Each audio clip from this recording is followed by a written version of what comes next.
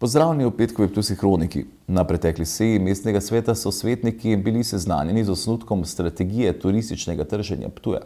Zdaj je strategija v javni razpravi, potekala pa je tudi javna tribuna.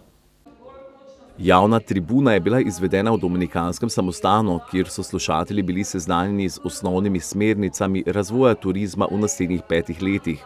Gre za osnovo razvoja mesta v prihodnje. Strategija je tudi predpogoj za vodilno turistično destinacijo in črpanje sredstev nacionalnih virov.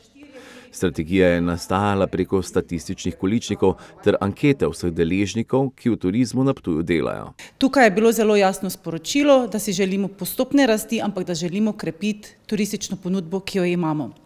Strategija predvideva v naslednjih petih letih nekaj več kot 100 milijonov evrov, ki bi pa jih pridobili na različne načine, torej iz štirih virov, bančnih virov, zasebnega kapitala, proračuna, ministrstev in EU projektov, preko katerih bi torej financirali 57 ukrepov, ki smo si jih zastavili znotraj šestih stebrov. Gre za krepitev naslednjih stebrov: razvoj skupne ponudbe atrakcij in infrastrukture, ambient in prostor za botično destinacijo, lokalna odličnost in podjetniška ponudba ter verige vrednosti, zeleno in digitalno trženje, razvoj prodajnih produktov ter učinkovito upravljanje in povezovanje destinacije.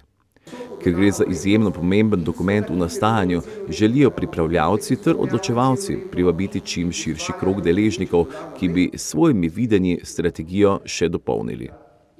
Torej, po javni tribuni, ki je bila izvedena, še sedaj možnost, da posamezniki podajo svoje mnenje, pisno mnenje na občino. Seveda ta mnenja bomo pregledali, bomo pretehtali, bomo videli, če so že znotraj katerih obstoječih ukrepov vpletena, označena oziroma jih bomo dodali.